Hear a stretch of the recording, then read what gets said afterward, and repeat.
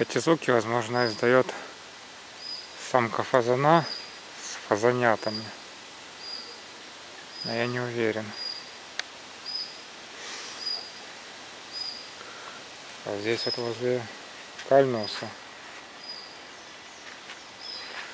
лесопосадки есть кирказон и буквально почти что на каждом растении есть уже по гусенице.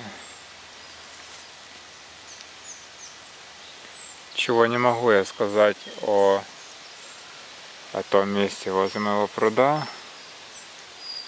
Вот, там, по крайней мере, бабочки много летали, но может быть просто я не замечал.